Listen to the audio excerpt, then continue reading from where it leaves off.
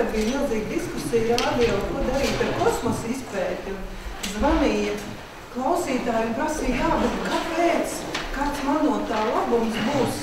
Un es tieši domāju, ko man teikt, kāds man labums būs vai parastam kādam cilvēkam no mūsu pētījuma. Un man šķiet, ka tomēr jānovērtē tā pievienotā vērtība, ko dod tas, ka cilvēki darbina smadzenes ka no tā viena rodas liels labums sabiedrībā, ka, ka smadzenes nav kā Hermans teikt, ko aizgājušas atpūsties. Un mēs neesam atpūtušies, mēs esam ļoti strādājuši tāda, lūk, mūsu priekšā man lieliskie kolēģi, kas dažādos virzienos attīstījuši šo pētījumu.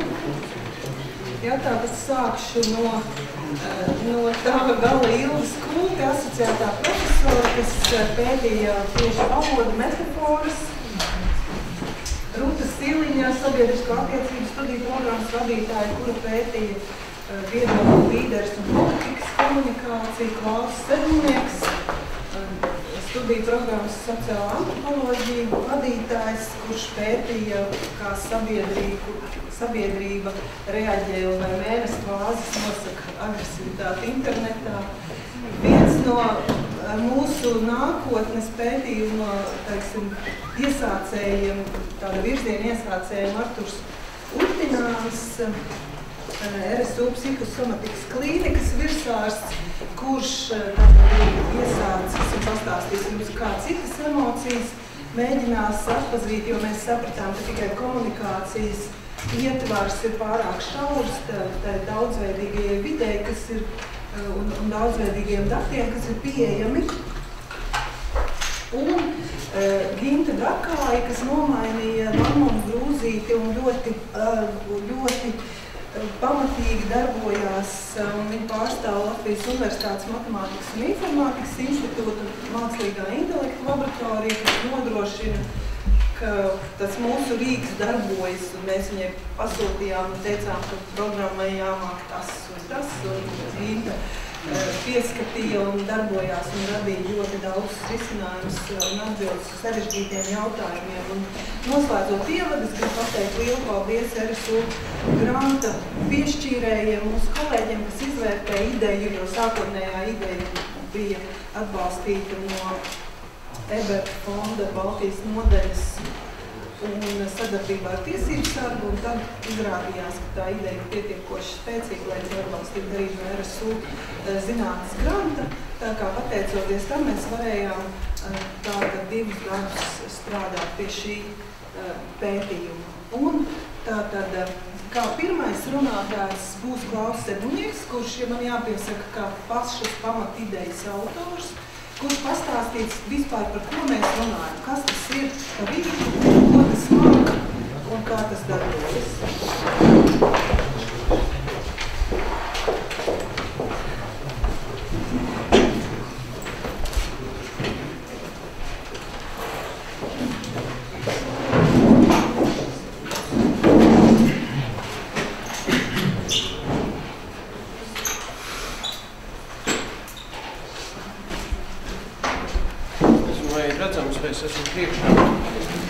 Dzirdams ir visiem.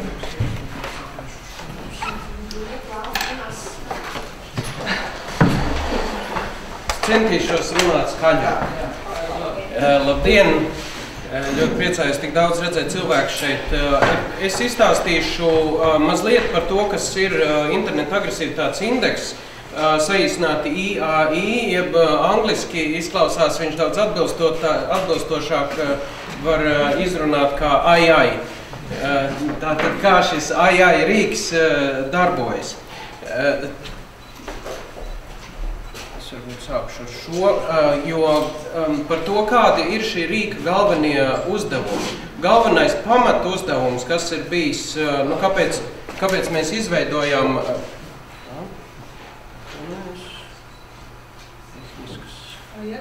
Ai, ai. ai, ai. Tā tas notiek.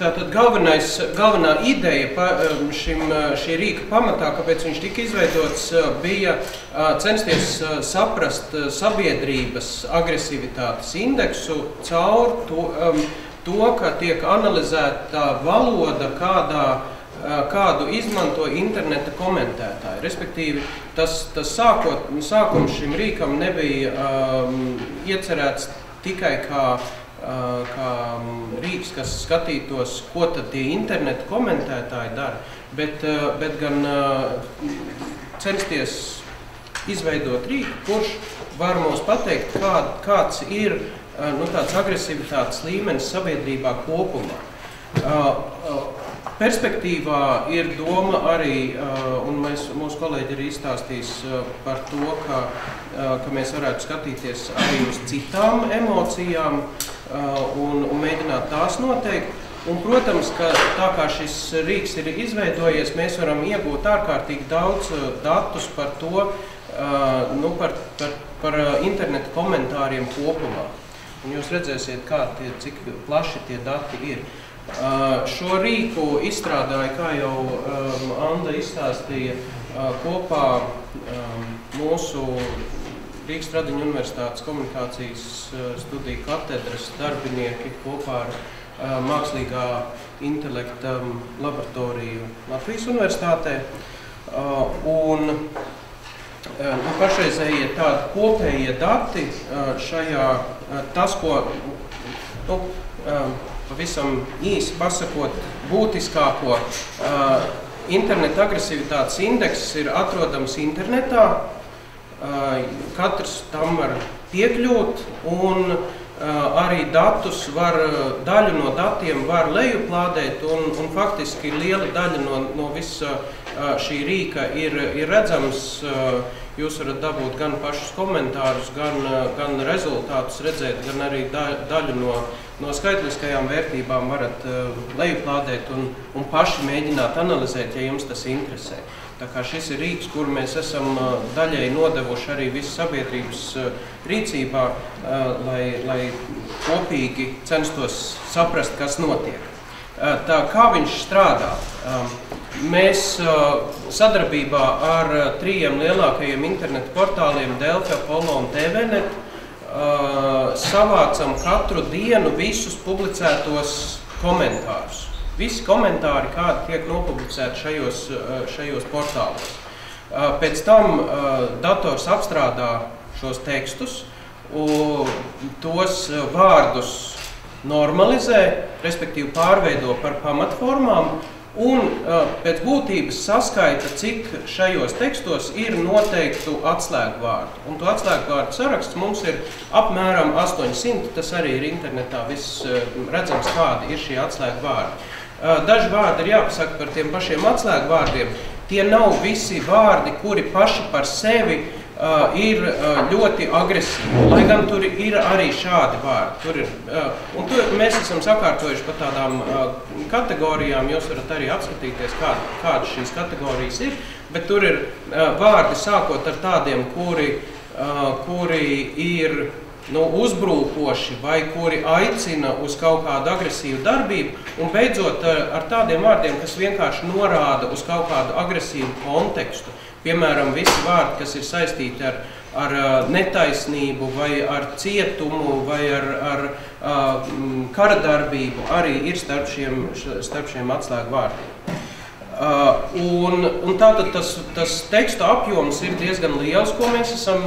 Um, šis rīks darbojas jau kopš 2011. gada maija, un šajā laikā mēs esam savākuši uh, 11,7 miljonus komentāru, kas ir 321 miljonus vārdu. Un, un katru dienu nāk klāt apmēram 30 tūkstoši vārdi no, no visiem šiem komentāriem.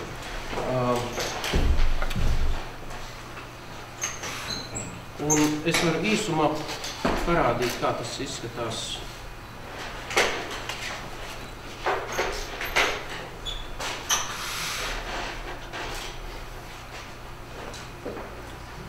Lai ir skaidrs.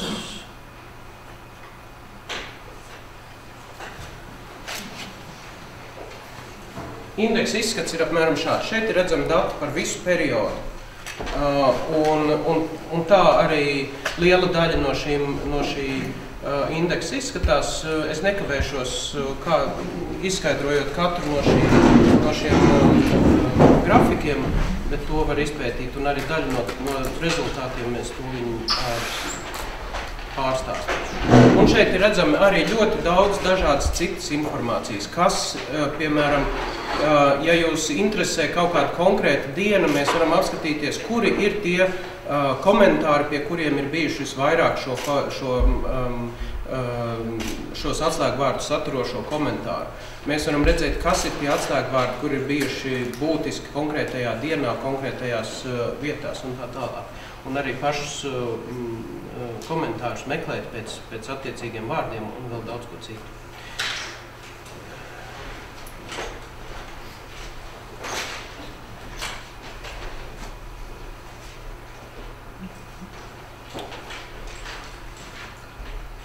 Eh, Tā tad, kas attiecas uz Uh, uz līdzīga veida pētījumiem. Šis nav vienīgais, un apmēram 2011. gadā, kad mēs sākām, tad arī citur pasaulē parādījās liela interese par, par līdzīgiem pētījumiem tieši līdzīgā kontekstā. Respektīvi, saprotot, ka, ka um, cilvēki ģenerēja ārkārtīgi lielu daudzumu teksta visā pasaulē, un to ir iespējams kaut kā ar mūsdienīgām, uh, mūsdienīgo tehniku apstrādāt un, un uh, analizēt. Bet lielākā daļa no šiem, eh, faktiski visi eh, pārējie, kurus es esmu redzējis, eh, līdzīgie rīki darbojas ar Twitter. Twitters ir savā ziņā vienkārši izmantošanā, jo, jo tas ir izveidojis tādu noteiktu rīku, ar kuru var piekļūt šiem datiem klāt. Un, mm, um, jā, es stāstu vēl arī par manējo. Viņas papildinās par indeksu un datu sadalījumu. Ja? Uh, un, uh, un šie, uh, šie rīki cenšas līdzīgā veidā, kā mēs ar līdzīgām metodēm, tāpat skaitot pamatā atslēgu vārdus. Ir arī vēl dažas citas metodas, bet, bet lielā mērā viņas ir līdzīgas. Saprast, kāds ir noskaņojums. Tie pārējie rīki, kas ir atrodami dažā, aprakstīti dažādās publikācijās, lielākoties skatās vienkārši pozitīvu vai negatīvas emocijas un, un šādā veidā um, um, mēģina kaut ko noskaidrot. Te vēl um, tīri piemēriem, viens, kas ir no, bijis no, uh, no Lielbritānijas, Uh, un noskaidrojis, ka uh, negatīvās emocijas parādās samērā daudz uh, ap, um, respektīvi, nevis negatīvās emocijas, bet, kā viņi saka, sēdnes, skumjas ap Helovīnu, savukārt prieks ap Ziemassvētkiem, Lieldienām un Valentīnu dienu. Ja? Un tas atkārtojas gadu no gada. Šeit vēl cits pētījums, kurš, kurš pētījis pēc Twitter ierakstiem, kā mainās noskaņojums ASV pa stundām un pa štatiem. Un, uh, un veido tādas interesantas um, kartas, kurās sarkanais nozīmē tādu nospiestu garstāvokli un zaļais pacelātu garstāvokli. To jūs varat redzēt uh, dienas laikā, kā viņš mainās, tad naktī ir vairāk, protams, nospiestais. Un, un te ir redzams viens kaut kāds nelaimīgs galīgs saks, kurš ir visu laiku sarkans. Es nezinu, kur, kur ir šī bēdīgā vieta, bet, bet uh, ASV ir viena tāda vieta, kur nekad cilvēki nekļūst priecīgi. Um, jā, varbūt, ka tad... Uh, jā, un tad, uh, Gīni varētu papildināt tieši vēl dziļāk to, ko, ko ar viņas palīdzību mēs esam varējuši izdarīt ar mūsu rīku tad tikai jāatver tas vakars.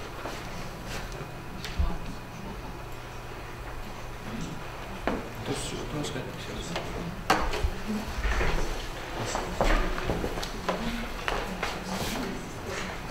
Šeit, šeit, šeit.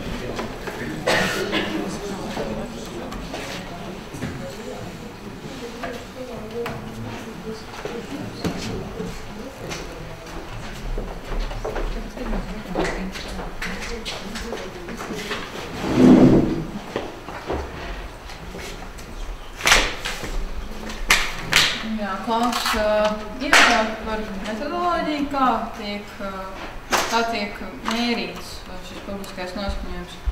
Un uh, tad, tad uh, kā viņš minēja, viss ir, viss ir balstīts uz atslēgvārdiem. Parādīšu arī sarakstu. Nu, atslēgvārdu saraksts uh, pieejams internetā. Viņam ir ne tikai tas uh, vērtība tajā, ka ir izvēlēti šie vārdi, bet papildus ir izvēlēts arī svars cik, eh, cik agresīvs tad, piemēram, ir karš vai vārds slikts vai policija. Uh, rezultāts, uh, rezultāts ir redzams grafikā, kurā katrs, katrs no punktiem apzīmē konkrētas dienas šo agresivitātes svaru. Respektīvi, saskaitīts ir visu atrasto konkrētajā dienā atslēgu vārdu svars. Varētu rasties jautājums, kāpēc mērīt to tikai atslēgvārdu līmenī, nevis komentāru līmenī? Kas tad ir agresīvs komentārs? Kopā ar kolēģiem devāmies šādā ekspedīcijā, pētījām, vai ir iespējams labi noteikt, noteikt kas ir agresīvs komentārs tika marķēti vairāk kā 3000 komentāru kategorijās. Agresīvs komentārs, neagresīvs. Rezultāti rādīja, ka tikai 16% no šiem komentāriem cilvēku uzskatos ir agresīvi. Tas pieliek citu griezumu šiem datiem. Šis ir redzams atslēgvārdu līmenī, savukārt komentāru līmenī tas viss izskatās ļoti līdzīgi, bet nedaudz citādi. Salīdzinot šīs abas formas starp komentāriem un atslēgu vārdiem, vērojam diezgan lielu korelāciju. Apvienojot šīs bildes, tas izskatās šādi. Varam redzēt, ka tie pīķi, nu tas, tas ir tā, kad būtu tā lielāka agresivitātes, uh, agresivitātes uzplūde, bet tieši otrādi uh, ir diezgan, diezgan sakrītoši. Uh, varam teikt, uh, ka cilvēks ir kaut kādā mērā spējīgs arī tomēr klasificēt komentārus uh, agresīvos un neagresīvos. Uh, skaitļos uh, 80% gadījumu no diviem cilvēkiem satikts viedoklis par to, kas agresīvs komentārs un kas ne. Uh, tālāk, uh, Es domāju, ka Klaus varētu turpināt Jā. ar savu pētījumu. Tas, ko Gīna, kamēr Klaus pieslēdzas, ko Gīna stāstīja, bija atšķirība starp mašīnu mācīšanos un atslēgvārdu metodu. Viens ir atslēgvārdi, kura atpazīst agresivitāti pēc atslēgvārdiem, un mēs to salīdzinājām, ka tagad ar mašīnu mācīšanās metodi ar GIMS palīdzību tika iemācīts dators atpazīt pilnus komentārus, un mēs varam redzēt, ka mūsu hipotēze, ka tad, ja cilvēks lieto agresīvus vārdus, nozīmē arī, ka viss viņa komentārs ir agresīvs, ir apstiprinājusies, jo šīs līknes ļoti sakrīt, un eh, tas, kas tika minēts, ka tika testēti ar dzīviem cilvēkiem, lai viņi atpazīst, un pēc pēc šī testa tātad bija jāsakrīt diviem cilvēkiem no, no visa eh, tā skaita, kas mums palīdzēja izvērtēt visus komentārus. Ja sakrīt, tad, tad ir agresīvs vai neagresīvs. Un Un tad pēc šī modeļa dators iemācās atpazīt komentārus ne tikai esošos, bet visus, kas nāk klāt, jo ir pietiekoši daudzveidīgs datu materiāls, lai varētu tātad nodrošināt. Lūdzu, Klaus, par savu pētījumu. Tur, turmākajā daļā mēs jau pastāstīsim, ko mēs esam uh, sapratuši, analizējot jau konkrētus datus, uh, kurus mēs ieguvām ar šī rīka palīdzību. Uh, un, un tas, kas mani interesēja, bija mm, mēģināt saprast, vai šeit parādās kaut kādas, nu, kaut kādas nu, plašākas, sezonālas vai svārstības, kuras liecinātu, ka mēs ar šī rīka palīdzību varam redzēt kaut kādu sabiedrības noskaņojuma maiņu ilgtermiņā, un vai ir kaut, kā, kaut kādas lietas, kuras, kuras ietekmē to, kā, kā um, uh, ko cilvēki um, saka un, un iespējams arī ko jūt, bet kas iespējams nav tiešā veidā neizriet no, no tiem uh, rakstiem, kurus viņi komentē. Ja? Mēs varam pieņemt, ka uh, tā, nu, tāda konvencionālā teorija būtu tāda, ka ka mēdīji ļoti lielā mērā ietekmē to, ko mēs jūtam un domājam. Un, uh, un ja redaktors ir kaut ko tur ierakstījis, ja, un, nu, piemēram, par homoseksualitāti, mēs zinām, ja tas ļoti patīk cilvēkiem par to komentēt, uh, tad, uh, tad, nu, tad arī tur viss, viss sabiedrība šūmēsies. Un, uh, mana doma bija paskatīties, vai mēs varam uh, atrast arī kaut, ko, kaut kādus citus faktorus, kas ietekmē to, ko cilvēki dara.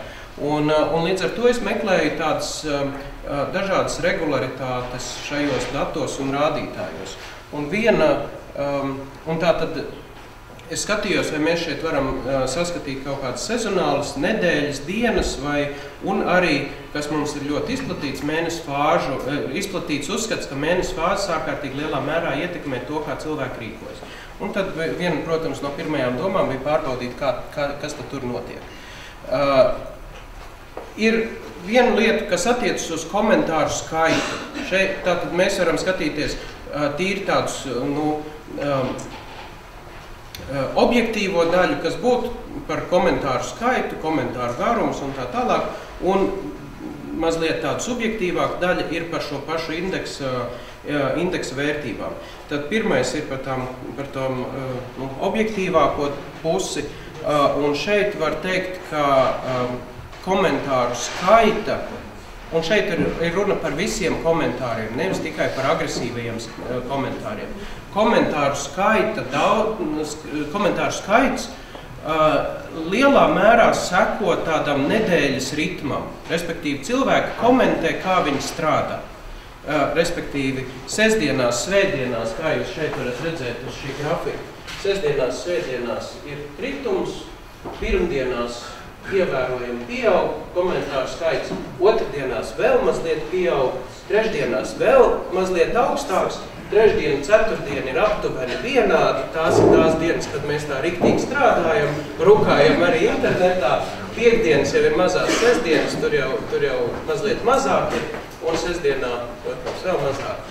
Tātad komentāru skaits atspoguļo šo darba dienas ritmu. Uh, Man neizdevās atrast kaut kādas lielas sezonālas, nu, tādas plašākas svārstības attiecībā uz, uz komentāru skaitu, bet attiecībā uz mēnesi fāzēm, kā jūs redzat šie, šajos grafikos, un te ir visi apskatītie gadi, pilns mēnesis un jauns mēnesis. Nu, it kā tam vajadzētu būt pretējam polam, un nu, tā, tā daudz teorija būtu tāda, ka pilnā mēnesī būtu jābūt, nu, tad, kur tur briesmīgi daudz ir, un, un jaunā mēnesī, kas ir pretējies, ja, kad mēnesis vispār nav redzams, vajadzētu būt tā, ka nav vispār, bet kā jūs redzat šajos grafikos, faktiski atšķirības nav šajās divās. divās. Un, un es esmu skatījies arī citos griezumos, un visi parāda to, ka šeit nav nekādas regularitātes. Nākošā daļa ir šā, šis AI līmenis, jeb interneta agresivitātes to rā, tā indeksa rādītāja līmenis.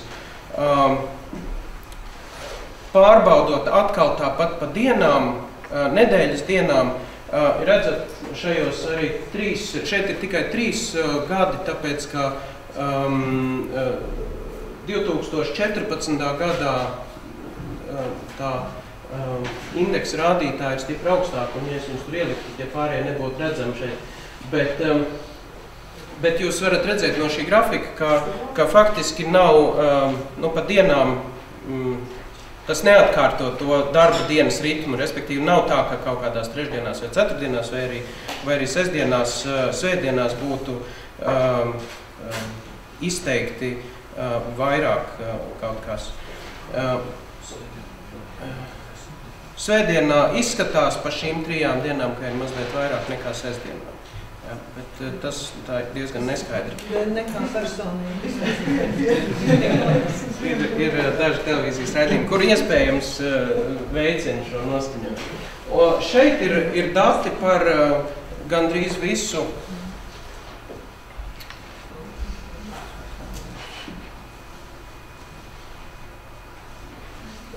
dati par gandrīz visu periodu no 2011. gada māja līdz 2014. gada aprīlim.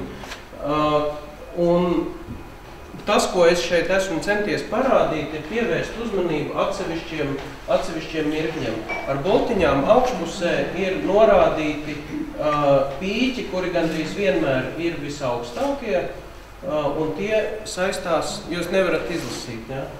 Uh, šeit ir 15. marts, šeit ir 17. marts, šeit ir 12. marts un arī 2014. gadā līdzīgi. Tātad tie ir tie, tie datumi, kuri saistās ar, ar aug, kuri izveido pašus augstākos pīķus. Bet tas, kas ir vēl interesanti, ir apakšā šīs, te, šīs svītras norāda uz, uz periodu decembris, februāris. Faktiski varbūt, ka viņi varētu pagarināt mazliet vairāk uz novembri, kur ir periods, kurš ir vienmēr mazāk intensīvs nekā, nekā mēnesis, kas ir pēc tam. Respektīvi, decembris, februāris ir, un šī dzeltenā līnija ir vidējais rādītājs, kas vienmēr ir zem tā vidējā rādītāja, tad martā, jau februārī mazliet viņš ceļās, parādīšu tālāk precīzākus grafikus. Respektīvi, tas, ko mēs varam redzēt, ir, ka ir šis ziemas periods, pirms marta ir tāds samā, sa, savā, savā ziņā um, mierīguma periods. Martā, protams, ir šī te, uh, kāpums, un, un vēl ir viens mierīguma periods, kurš ir redzams labāk nākošajā grafikā. Šeit ir pa grafikiem parādīts vidējās, vidējie, uh, vidējie lielumi katrā mēnesī pa gadam.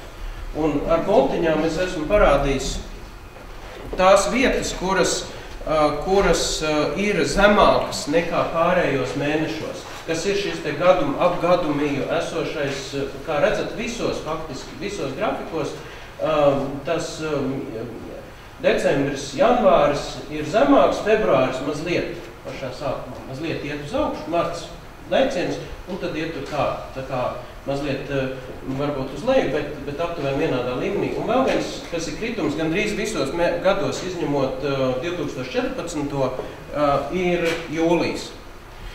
Man skaidrojums, ka iespējams, ka tas saistīts ar, ar uh, atvaļinājumu periodu.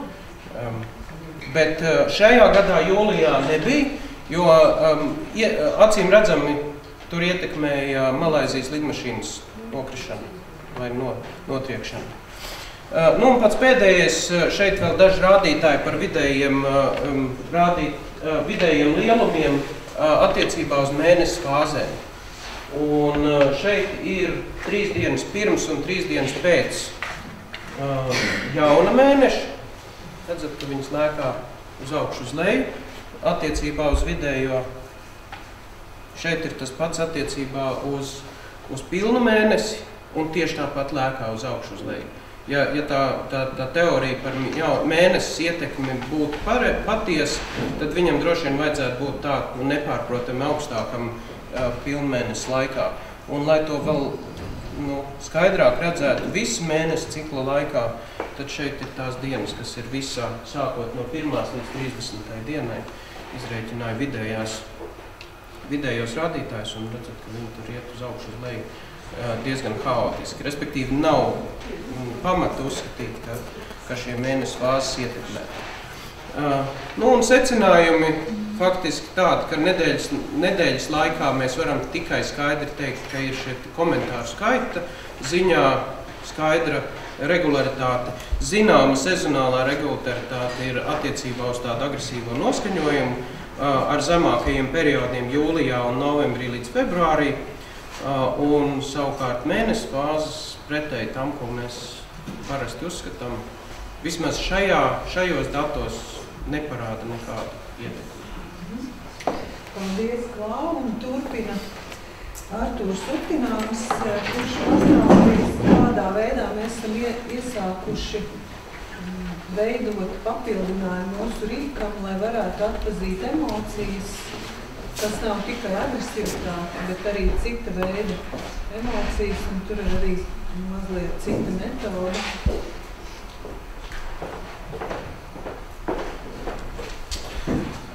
Labdien!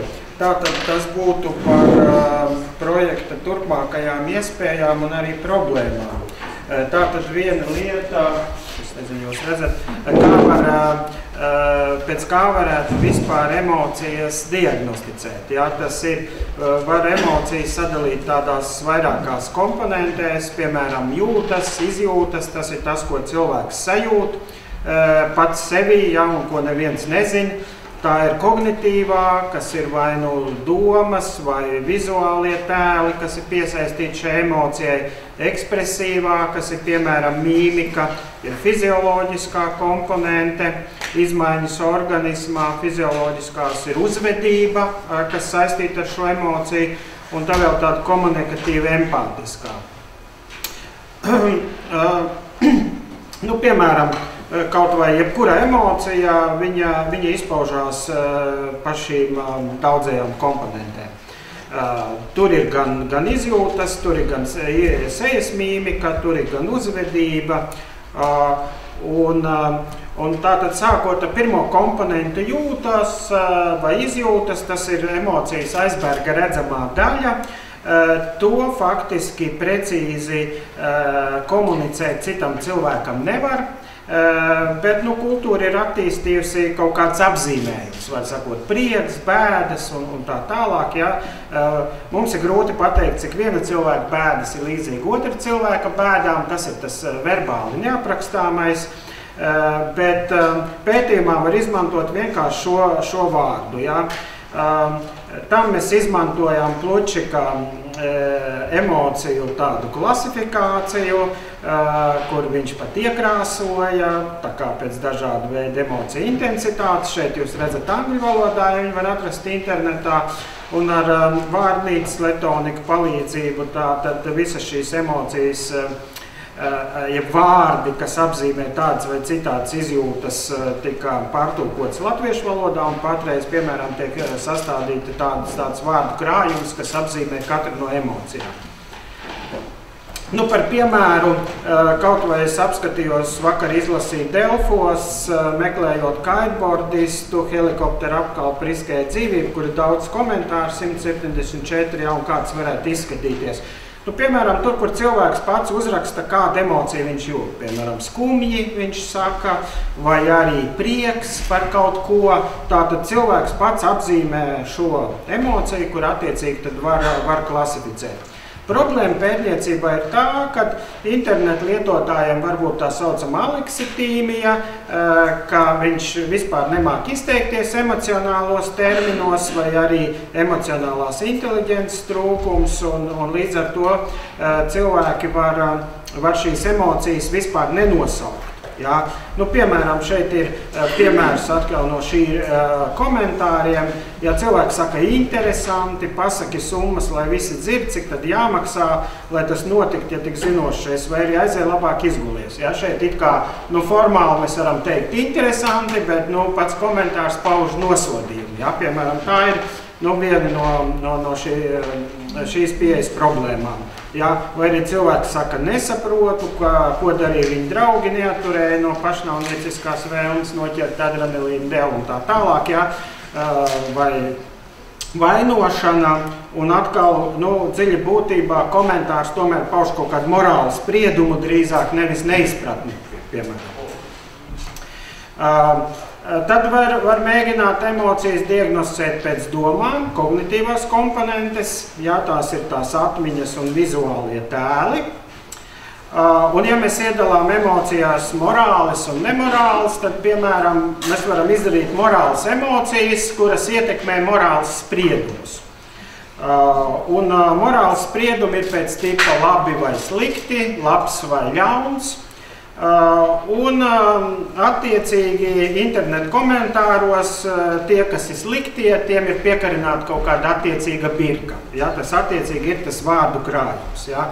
Uh, šeit es varu atgādināt tādu interesantu tēzi, bet principā sanāk, ka visi lamu vārdi nāk no tā saucamās intuitīvās morāles. Um, tā kā ja cilvēks lamājās, tad um, kaut vai atceramies plaši izplatīto lamu vārdu ar B burtu, jā, kas apzīmē noteiktu, teiksim, tikumiskās uzvedības veidu, jā, tas, jūs saprotat, tas saistīts ar morāliem spriedumiem. Nu, un morāles emocijas tad varētu iedalīt tā, ka vai nu viņas ir vērstas pret citiem, Piemēram, šeit jūs redzat uh, vairākus komentārus, kurā ir vai nu tātad nosodījums, kad uh, glābēji teiksim, tie kaitotāji ir teiksim, idiņi, jā, šai gadījumā tas ir morāls nosodījums, vai arī, piemēram, uzslavā, jā, teiksim, uzslava glābējiem, attiecīgi tas būtu ar pozitīvo komponenti. Un emocijas šīs morāli var būt vērstas pret sevi, jā, attiecīgi tas ir vai nu kauns vai vainas apziņa, kas ir visbiežāk pret sevi vērstās morālas emocijas. Un, nu, un attiecīgi pēc komentāra, jā, mēs varbūt varētu spriest kādu emociju izjūtu. Uh, nu, varbūt arī kolektīvās morāles emocijas, jā, vai nu kauns par Latviju, vai lepnums par Latviju un, un, un tā tā. Protams, ir arī nemorāls emocijas, kas saistīts ar izdzīvošanu, piemēram, trauksme par kaut ko, vai, vai intereses, zinkārība, varbūt estētiskās emocijas, Eh, nu, tā tīri no novērojumiem, teiksim, komentāros, eh, internetu komentāros vairāk izpaužās šīs uh, morāls emocijas un, piemēram, Facebookā estētiskās. Um, tad ir ekspresīvā komponenta, tā ir cilvēka mīmika, pantomīmika, balss intonācija, uh, Tas, tas izskatās tādi, tas jau ir ģenētiski iekodēts. Nu, ja mēs paņemam internetu, tad iespējams, ka kaut kādā veidā ekspresīvo komponentā šīs ikonas atspoguļo, vai arī, piemēram, daudz izsaukumu, vai daudz jautājumu zīmes, vai daudz punkti, vai kaut kas tāds. Uh, nu, problēma pētniecībā ir tā, ka, protams, tās ir apzinātas atšķirībā no tām ekspresijām, kuras cilvēks nekontrolē, kā pantomīmika un sejas mīmika. Uh, somatiskā komponente, kas ir emocija saistība ar mūsu orgānu sistēmu, uh, tur sirds daudzījās, vai akmens uz sirds, vai bija karsti, vai vēmiens un tam līdzīgi. Interneta komentāros īstenībā ir reti, un viņas nav ļoti specifiskas. Ehm, tur eh, minēts tikai adrenalīns. Nu, viena no nozīmīgākajām būtu uzvedība. Ehm, tā tad eh, emocijas motivē uz kaut kādu veidu uzvedību. Piemēram, pie morāles emocijām ir aicinājums apbalvot vai sodīt. Ehm, un, eh, nu, piemēram, tur nodot drošības policijai vai, vai kaut ko tam līdzīgi. Uh, bet uh, problēma internetu pētniecībā ir, ka bieži vien nepieciešams garš apraksts, viens vai vairāk teikumu, lai varētu to emociju klasificēt un nepietiek tur tā kā vienu vārdu. Nu, un daži vārdi par ko empātisko komponenti, ko var uh, realizēt tikai cilvēks, bet nevar datorprogramma, piemēram, Eh, lūk, kaut vai tāds komentārs nesaprot, kāpēc helikopters nevarēja mobilizēties un izlu, it kā cilvēks pauž neizpratni, eh, bet mēs tīri empātiski varam saprast, ka te drīzāk ir nosodījums, ja nekā neizpratne. Ja. Arī nav interesi, piemēram, ja jautājuma zīme ir teikuma beigās, tas nenozīmē, ka cilvēks pauž interesi. Jā. Tāpēc es teiktu drīzāk nosodījums, jā, un, vai arī, piemēram, tikpat labi vai paust trauksmi. Uh, nu, tā tālāk ir vēl vairāki tādi komentāri, jā, ko var pateikt tikai cilvēks un kas ir problēma tā, tādai pētniecībai. Tā, protams, ir arī jauktas emocijas. Vēl viena pētniecība, piemēram, uh, nelabi paliek un paldies glābējiem, vai apbrīnoju un atsaldēti kretīni, uh, nu un tā tālāk.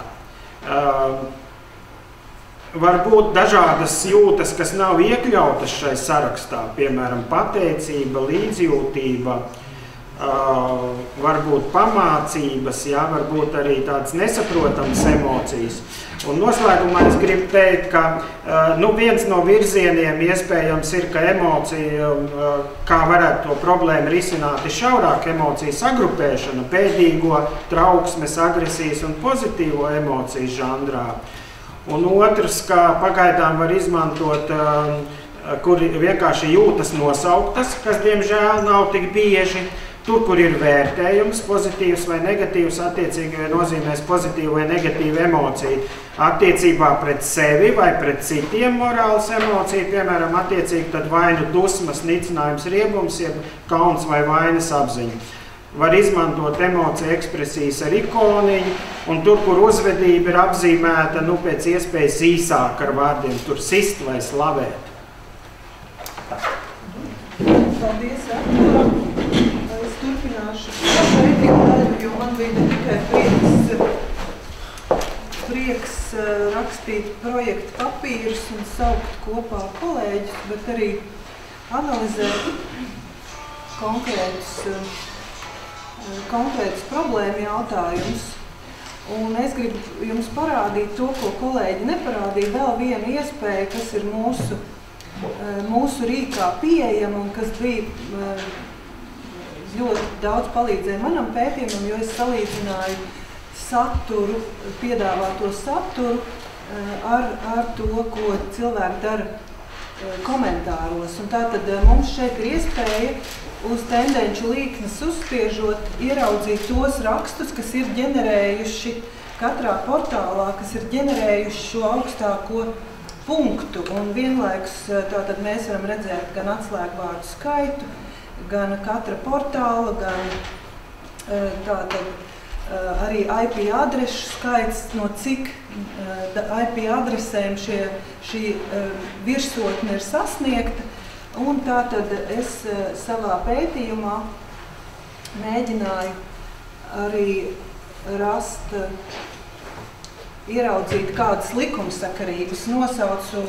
Šoreiz virsrakstu verbāla agresivitāte un auditorijas dienas kārtību, jo ziņu sakārtojumu atbilstoši algoritmiem, bet metrikrītiem arī ietekmē tas, cik bieži un cik daudz cilvēki to komentē, un tā, to arī sauc par auditorijas dienas kārtību.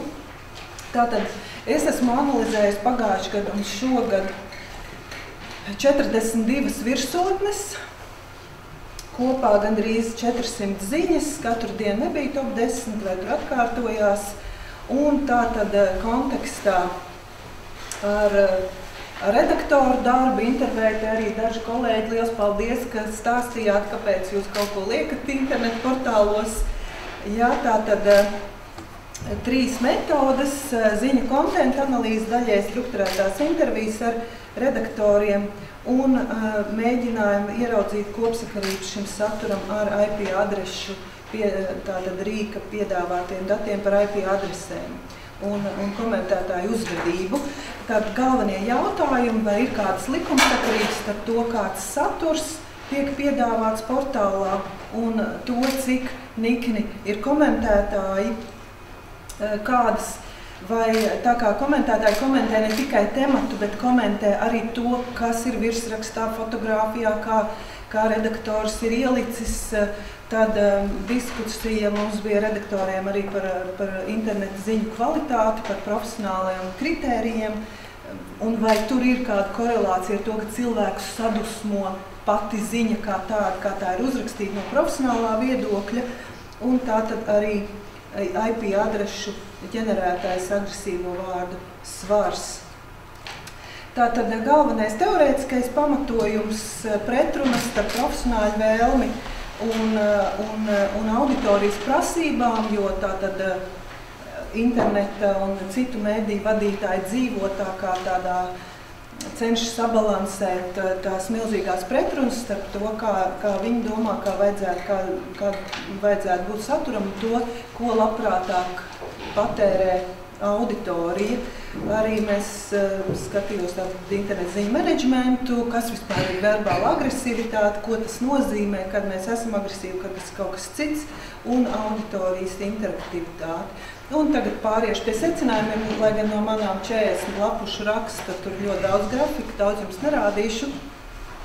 Tātad redaktori, ko dara redaktori, cenšas, nu, kā jau viss mēs savā darbā darīt to labāko un īstenībā vairākus gadus analizēt. Man bija pilota projekts arī iepriekšējais, kurš lika uzdot tos jautājumus, rāda, ka internet ziņu kvalitāte ir augusi, Tātad ar vien cenšas tomēr uzlabot, nav vairs tik fragmentāri, primitivizēti pasniegts, bet, protams, diezgan daudz, it sevišķi Delfa portālā, nosaka tātad specifiska programmatūra, kas mēra auditorijas aktivitāti, ja, un atbilstoši tai tiek, tiek tātad sakārtotas, pārkārtotas kādas ziņas parādās vai pazūda no, no galvenajām lapām. Ļoti daudz ko nosaka konkurenti, tāpēc mēs visi jūtam un mēs arī redzam, ka indeksā īstenībā neatkarīgi no portāla tracina un trako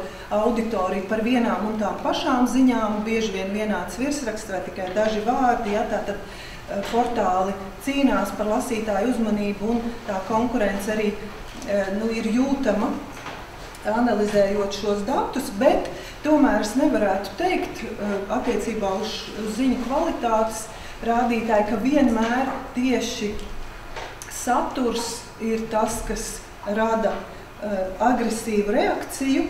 Patiesībā saturs uh, rada kādu atbildes reakciju uz esošo noskaņojumu sabiedrībā, ir konkrēti jautājumi, kas ļoti uztrauc cilvēks. Un te ir vienīgais grafiks manā prezentācijā, kur tā tad ir tas galvenais tēmu tops, ja, kur, kur dominē tātad starptautiskie notikumi un šo te lielo grafika daļu ir izveidojuši Ukrainas notikumi un ir atsevišķi arī izanalizēti Ukrainas notikumi, vai tie būtu Latvijas reakcija, vai pašā Ukrainā kaut kas notiek, vai Krievijas izteikumi, ja tie visi ir radījuši ārkārtīgi paaugstinātu agresivitātes līmeni.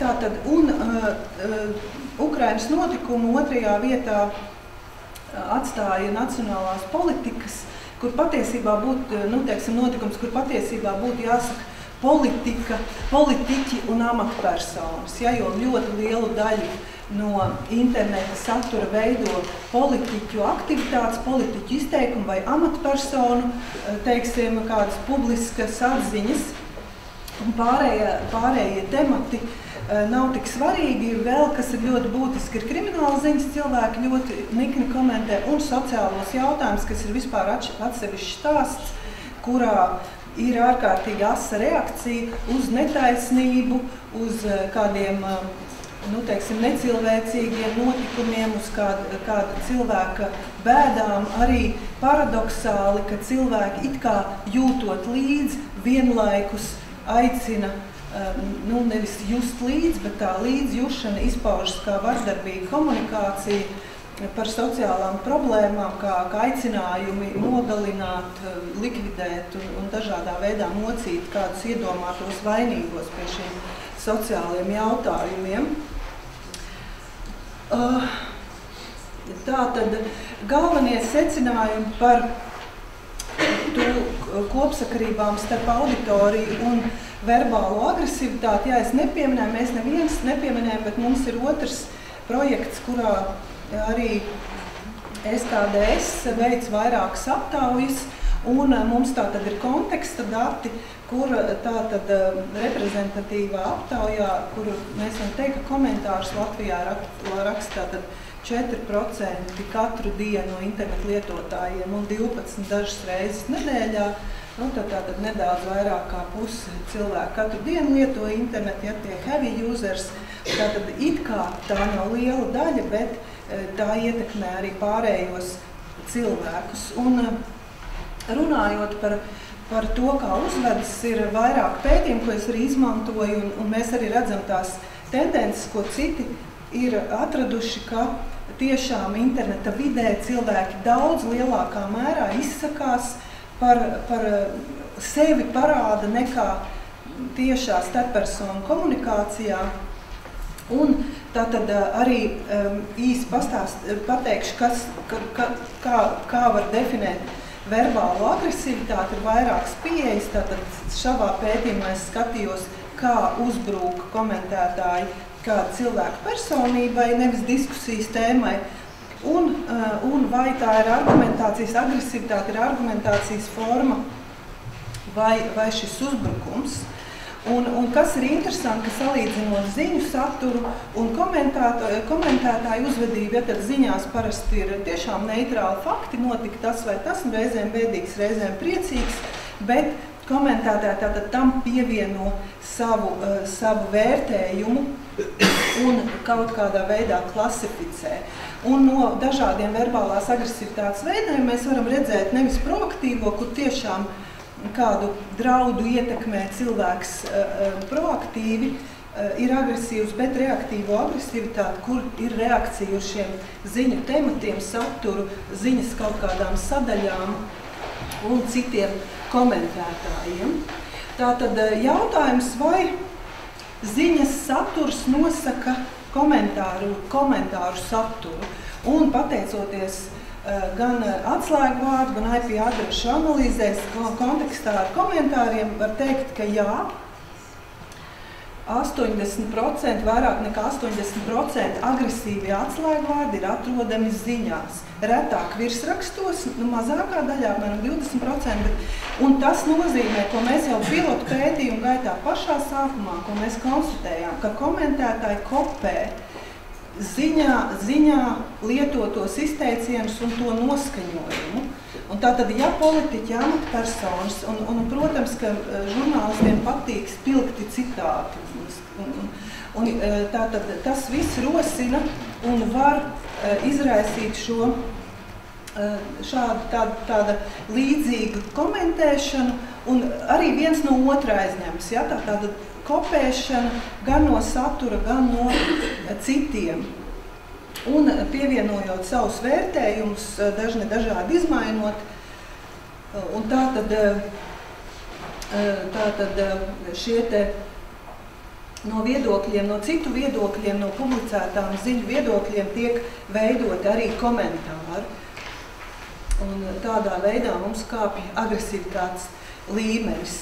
Un tā tad analizējot IP adrešu daļu, manās 42 virsotnēs divu gadu laikā, ja tā tad no uh, visa pagājušā gada laikā un šogad līdz oktobrim, var teikt, ka puse no visiem, kas komentē, ir uh, lietojuši kādus uh, agresīvus, naidīgus vārdus. No katras adreses divi līdz trīs komentārus nozīmē, ka cilvēks kaut ko pasaka un iespējams atbild kādam, kas vēl kaut ko saka. Tā, tas varētu būt pieņēmums, bet bieži vien tā arī ir. Arī skatoties pēc, pēc niknējumiem, ja, pēc šīm sevi raksturojošiem apzīmējumiem. Tas ir dienas laikā, tie bija trīs.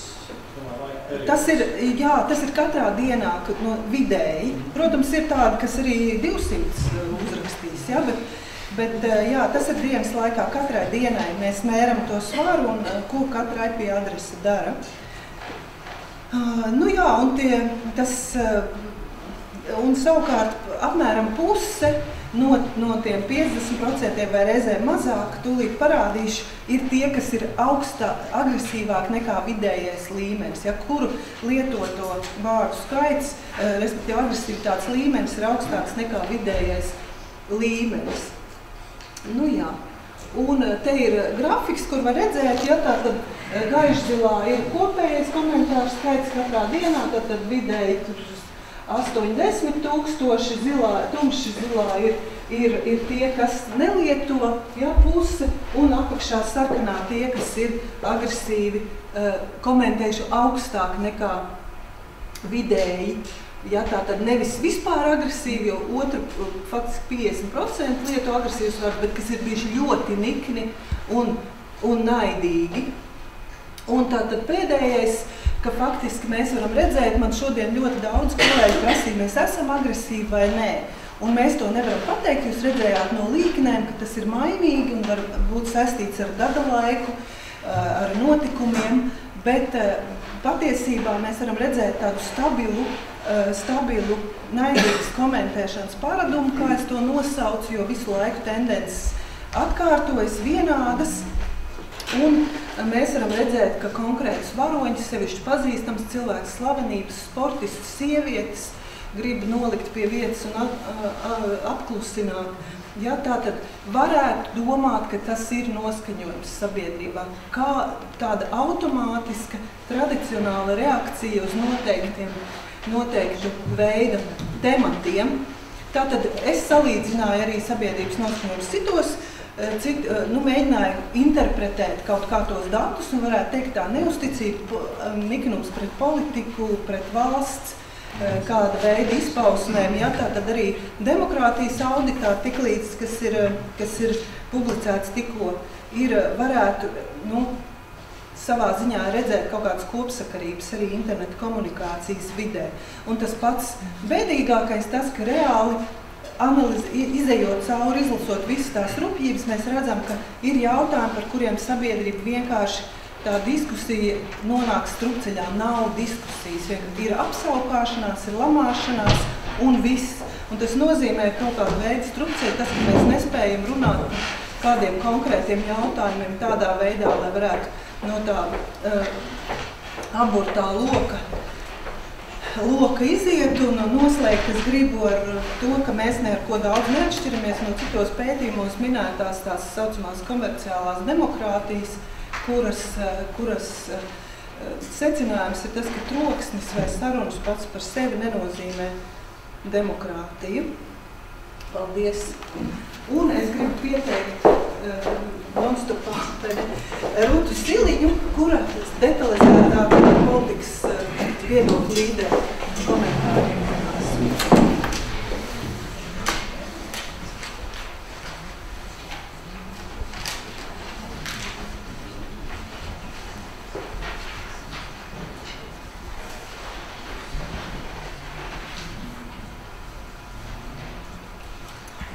Sveicināti!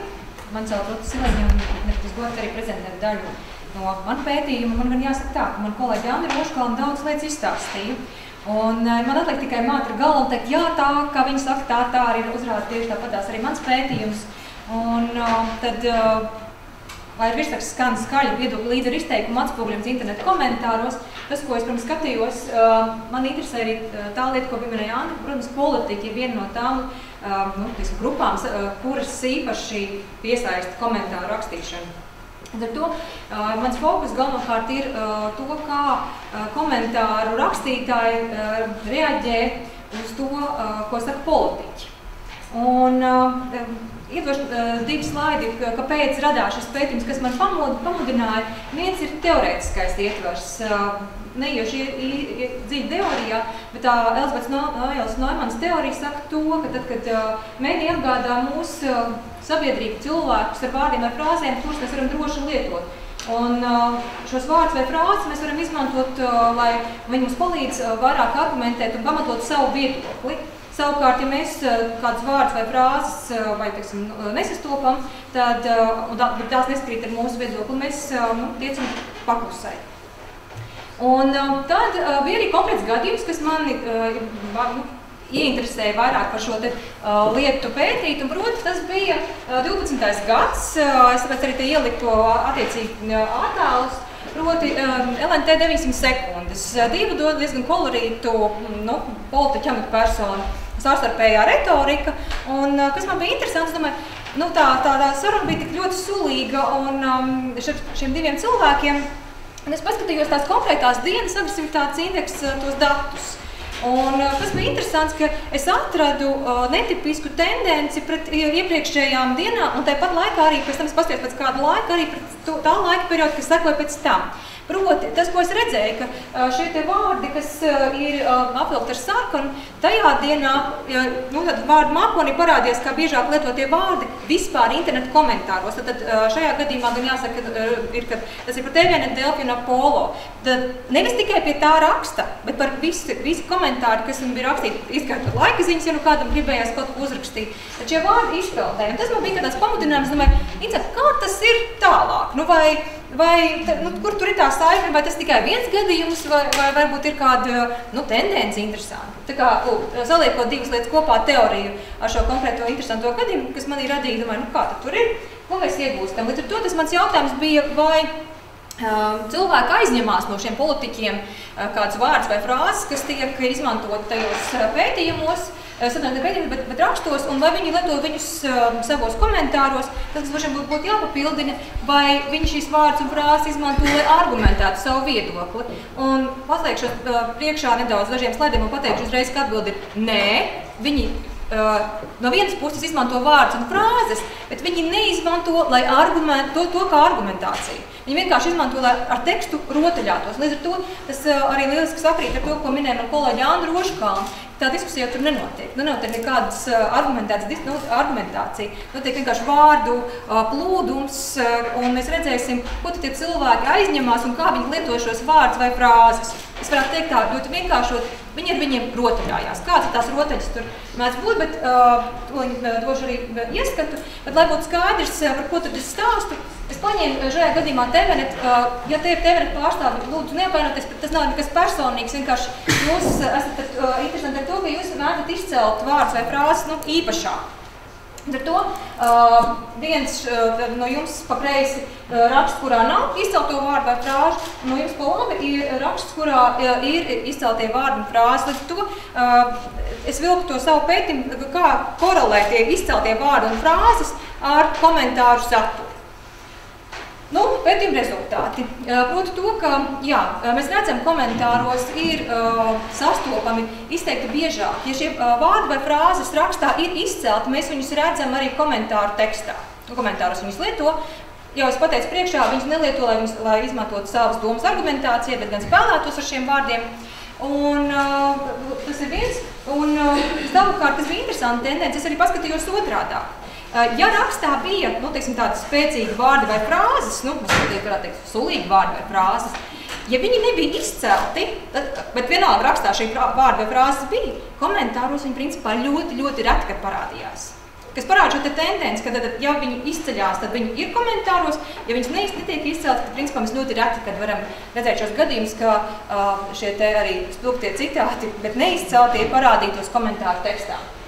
Uh, nu, tad, uh, Tas, kas notiek, ka komentāros tiek nu, tā, paķerti vai izrauti kaut kādi vārdi vai frāzes ārpus to nu, tiksim, runātāja vai, te, vai, vai tā raksta autora dotās jēgas vai konteksta.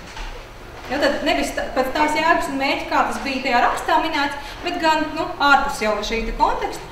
Un tāpēc es arī atļaujos to saukt par tādu nu, rīķošanu vai rotaļāšanās ap vārdu.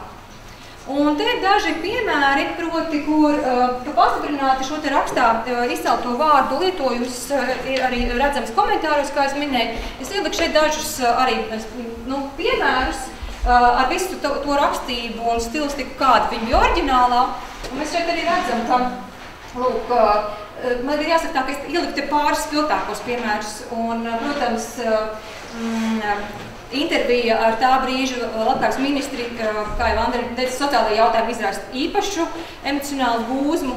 Tad arī šeit ir, mēs redzam šīs spēles, ja, kur virsrakstā jau ir ielikts, visi neceriet labāk dzīvi būs tikai pēc diviem gadiem, tad ko uz to mm, komentāru rakstītāji šo te saka. Tāpat tās arī Pārņša Durska intervija, kurā toreiz vēl par eiro ieviešanu arī parādās nu, šī refleksija. Tad, jau, kā jau pieminēju, tad šī komentāru um, refleksija par rakstā izcelto vārdu vai virsrakstu saistībā arī um, nu, no citātiem, no literatūras, kino, mūzika, tad kaut kas, kas ir uh, paņemts nu, ārpus esošās vidas, nu, ne tikai par to, par ko ir raksts, bet paņemts vēl kaut kur. Līdz ar to uh, es iedošu vēl pāris citātus. Nu, tas mans tāds emocionālais komentārs. Nu, mūsu komentāru rakstītāji tomēr Labāziņa kaut ko zina no kultūras, kaut ko zina no kino, kaut ko no literatūras, tā kā varbūt pavisam bezcerīgi tas nav. Viņi ir arī diezgan radoši. Nu, te piemēri, vēl pāris piemēri par viņu šīm te radošajām izpausmēm, kur, kur mēs redzam, ka ir paņemts gan tur, teiksim, adaptēts dzējolis, vai tur uh, no dziesmas vārdība, vai tur tautas dziesma, varbūt tur pat pārfrāzēts joks. Uh, šīs lietas, tad uh, mēs redzam, ka nu, jā, ir spēlēšanās ar vārdiem, bet viņi netiek izmantoti, uh, kā to saka teorija, lai argumentētu savu viedokli. Tad um, mēs redzam arī to, ka um, komentārs varbūt kā atbildi raksta autoram vai šim intervētajam viedokļu līderim. Nu, tā arī ir šie konkrētie uh, daži piemēri spilgtie, kur, uh, nu, te ir godīgi, man personīgi tas pirmais ļoti liekas simpātisks atbild uz uh, ministrs uh, šo te apbalvojumu, ka nē, nu, izdara kaut ko un tev rudenī jābūs, jābūs, jābūs labāk. Tad um, vēl pāris piemēri, kā jūs redzat, šī te praksa ir diezgan izteikta, kā tiek veidot šī te diskusija, nu, bet vairāk kā refleks. Un jā, spēlēšanās ar, ar rakstā izceltajiem vārdiem vai frāzēm, arī konkrēti piemēri. Un, um, te var teikt tikai to, ka nu, mūsu tiešām kolēģi ir, ir, ir radoši, bet uh, diskusija kā, kā tāds, teiksim, nu, demokrātijas uh, formāts uh, internetu komentāros nav attīstīts. Nu, tad es tā ātri skrienu, es redzu, ka man jau rāda vienu minūti. Uh, un secinājumi. Tad galvenais secinājumi, trīs secinājumi. Tad mediji nodrošina cilvēks ar vārdiem un frāzēm, jā, bet viņi netiek izmantot, lai argumentētu vai pamatotu savu viedokli. Un, uh, nu, tad, tad šī argumentācija ir ļoti, ļoti vāja un galvenokārt tiek nu, teiksim, izteikt šīs emocijas. Tas savukārt noteikti sasauksies arī ar, ar turpmāko kolēģu pētījumiem, gan par metaforām, gan arī, ko jau izskicēja kolēģis Artors Lutināns, kur uh, par uh, šīm emocijām. Paldies jums liels! Liels paldies, Rūta! Un tad mēs ejam pie nākamās pētījuma daļas, ko prezentēs Ilva Skulta. Emocija, tātad metafors kā emocija izteikšanas līdzeklis agresīvas runas kontekstā Latvijas ziņu portāla internetu komentārus. Labdien!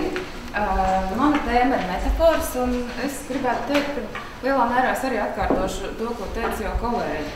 Tādēļ es mēģināšu būt īsa. Lai arī mana tēma, kā jūs redzat, arī tomēr vēl mazliet citā virzienā, drīzāk es varētu raksturot savu prezentāciju kā tādu, kurā es mēģināšu ieskicēt, kā šo mūsu rīku ir iespējams pielietot arī kvalitatīviem pētījumiem.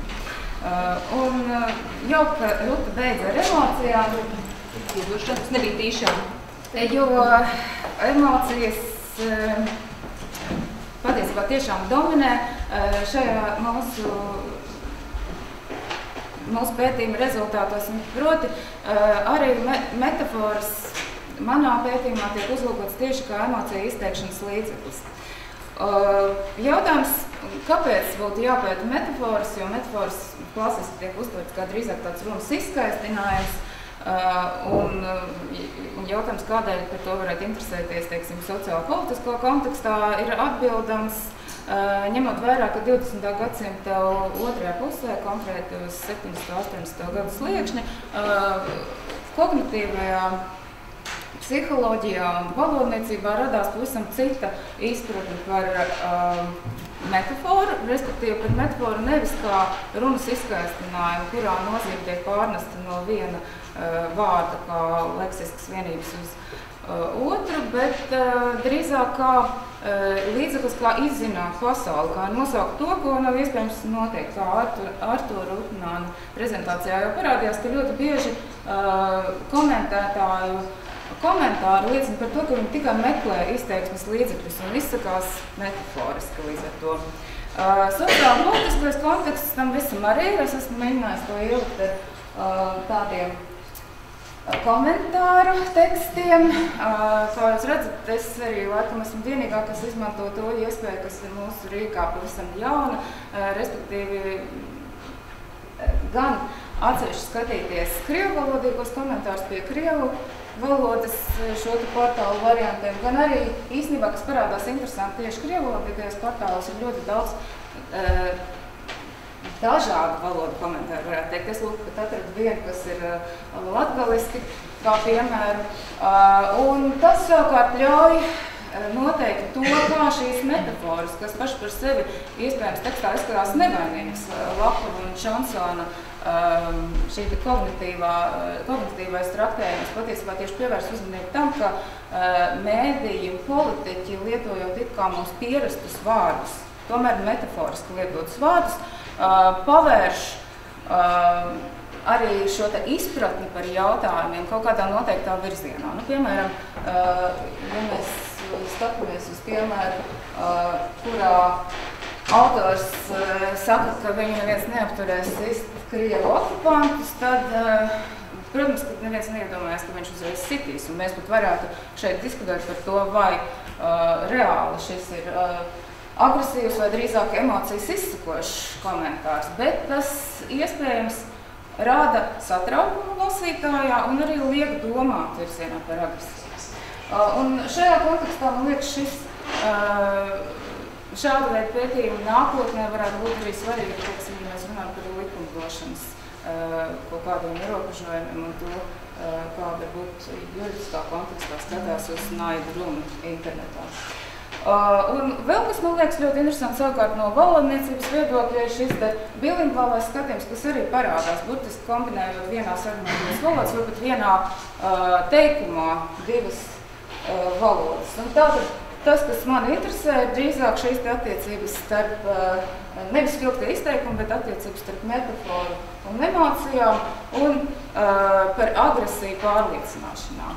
Īsumā par to, kā pētīt metafors un kā mūsu rīks varētu tam būt noderīgs. Tātad klasiski šādā pieejā metafors tiek pētīts nu, teiksim, gan valodiskā aspektā, gan arī konceptuālā aspektā. Tātad tieši konceptuālais nozīmes pārnesums interesē vairāk. Un uh, var pievērsties tātad atsevišķi gan izteiksmes līdzeklim, gan leksikalizācijas līdzeklim, gan arī metaforu struktūrai. Uh, un arī uh, jautājums par metaforas identifikāciju tiek atrisināts uh, soļos, identificēt vispirms vārdus, izteikumus un to pārstāvētās propozīcijas. Uh, Uh, salīdzinājums, atrodot analoģijas struktūras un visbeidzot meklējot starplauku topoloģiju. Mūsu Rīgas uh, manā konkrēti pētījumā, lai es veicu daža pāris mazas, teiksim tā, iegriezumus uh, mūsu korpus, ko, komentāru korpusā, varētu būt pirmkārt atrodot starp biežāk lietotajiem vārdiem tos, kas varētu būt metaforiski. Šeit, piemēram, mēs redzam uh, viena veida vai viena modeļa metafors, kas saistās ar dzīvnieku nosaukumiem. Un otrs, uh, manuprāt, ļoti palīdzīgs Rīgas katram filologam, kas nodarbojas ar metaforām, kā uh, konkrētiem vārdiem, ko mēs esam identificējuši, ir iespējams uzreiz atrast gan uh, vietu komentāros, gan arī uh, rakstu, kura kontekstā šis uh, vārds, šī metafora tiek lietota. Un visbeidzot, man arī interesē metafors tieši agresīvas runas kontekstā. Lūk, šeit uh, identificējot kādu stratēģiju un kādu taktiku uh, sakarā visbiežāk lietotās metaforas tiek lietotas. Uh, lūk, uh, šeit uh, pamatā parādās četri uh, tādi raksturīgi modeļi. Uh, pirmkārt, uh, joma no kuras tiek ņemti metaforiski izteikumi saistās ar kriminālu noziegumiem, otrkārt ar vardarbību un karu un cīņu, treškārt ar vēsturiskiem pārdarījumiem un visbeidzot ar dzīvniekiem, dzīvnieku sfēru. Ātri pārskatīšu pāris, pāris modeļiem, tātad vispirms un piemēriem,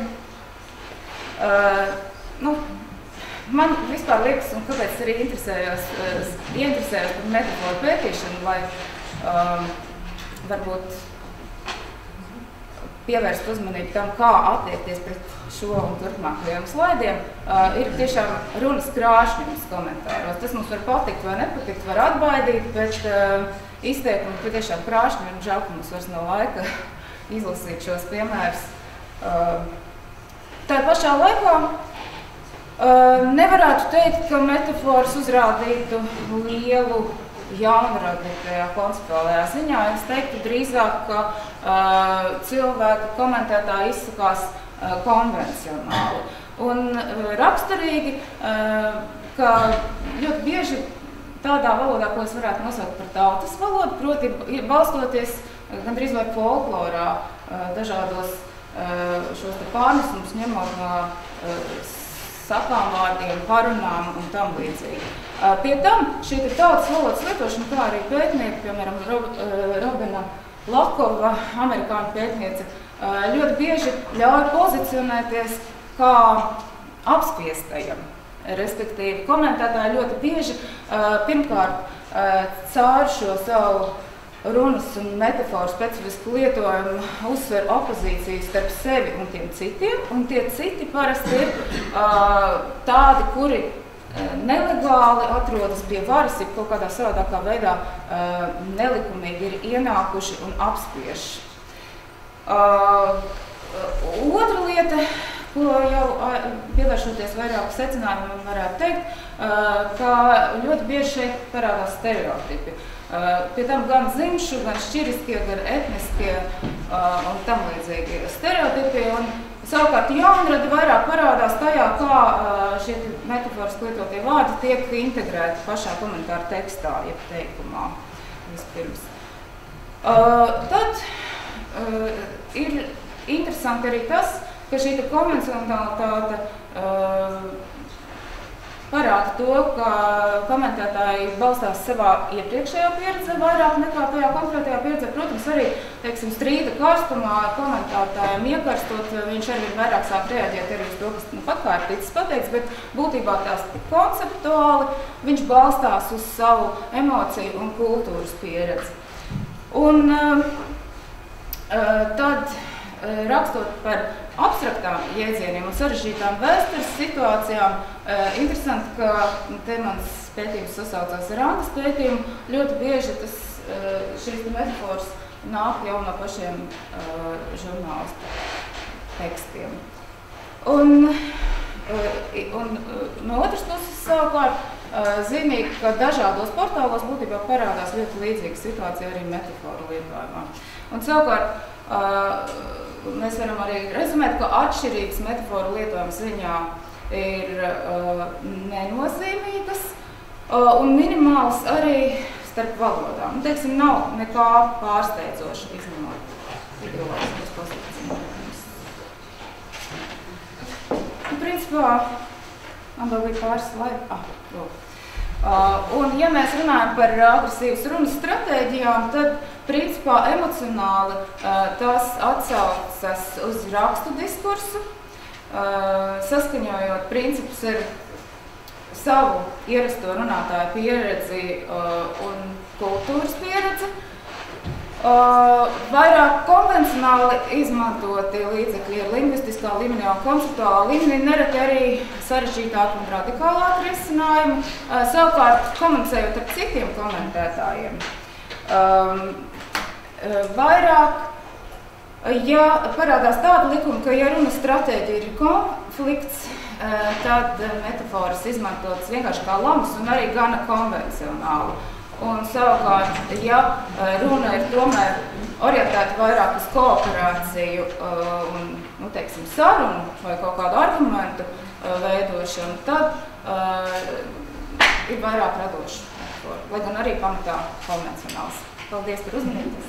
Paldies, Ilvai, un pirms jums uzdot jautājumus, jo es ceru, ka redzot, cik dažādos virzienos mēs esam darbojušies, visticamāk jums ir tāds uh, iedvesmojošs tāds reibonis, jo tomēr uh, tiešām ļoti daudz informācijas tiem, kam interesē, mēs uh, ieliksim arī mājaslapā visas prezentācijas, lai jūs varētu precīzi atsaukties tiem, kas tas, tam ir nepiec, tātad, nepieciešams darbam vai vienkārši sevis izklēdēšanai. Bet man kā, pien, kā projektu vadītājai pienākums ir pateikt, ka mums ir ambīcijas, ka mēs gribam turpināt. Mēs gan vēl nezinām, vai šis pētījums varēs turpināties. Tātad pirmā, pirmā ambīcija attiecas uz iešanu ārpus Latvijas, jo mums tagad, tagad Rīgas strādā Krievu valodā.